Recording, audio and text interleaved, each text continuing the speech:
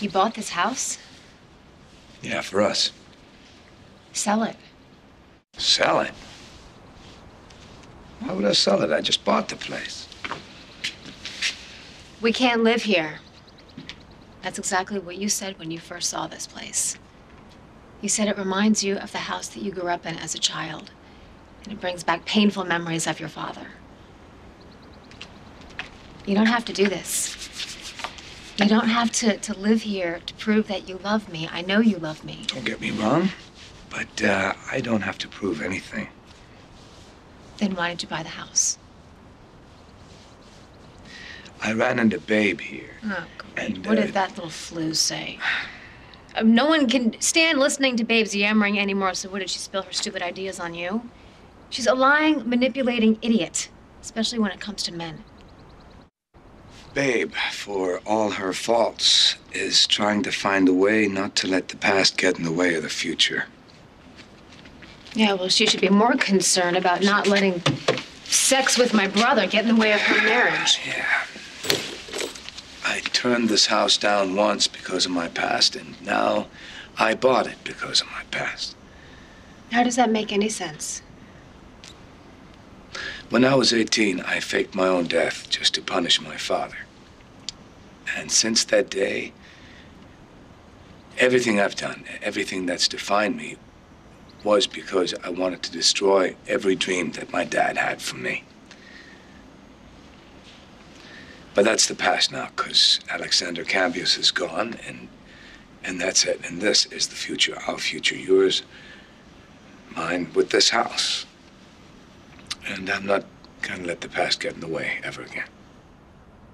All the bad memories about this house, you can just let them go and live with it? Yeah, no, they're already gone. So I need a room for all the new ones I'm gonna make with you. Hmm. See, here's what I was thinking. See, the pond's almost frozen. We gotta get some skates for young Spike. Yeah, skates. Okay, he can't even walk. Whatever, he's gonna sit with me in the Zamboni. So this is the grandstand, okay? Stadium seating right by the pond over there, and maybe, uh, I know, good sized scoreboard. Okay, uh, where does my hot tub go? You know where it goes. It's gonna be in the locker room. Oh, okay, so our house is going to be a hockey training camp? Yeah. Yeah, Spike will go, uh, youth league and go through the minors, and then, you know, he'll be in Detroit before he's 21. We'll just teach him whatever we have to teach him. We? What what can I teach Spike that he can use on the come ice? on, honey. Trash talk.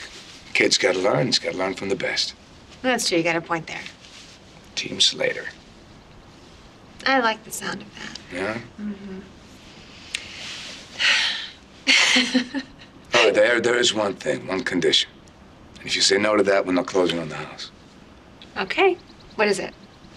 Serious, don't laugh at me right now. I, I won't. Tell me. I want to know. I need two very large recliners, red and white, so we can watch TV and watch all the games on a very big screen TV. You say no to that, no deal.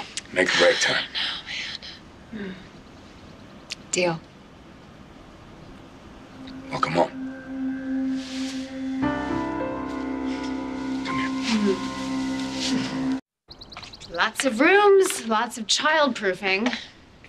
I don't even have to tell you why this would be a nightmare. When, uh, when can I order my recliners? How about we close on the house first? Sure, I'll get back to the office and call the lawyers. Okay. Okay. See you soon, house. I'll be back. Then we can start making our happy new memories. Mm.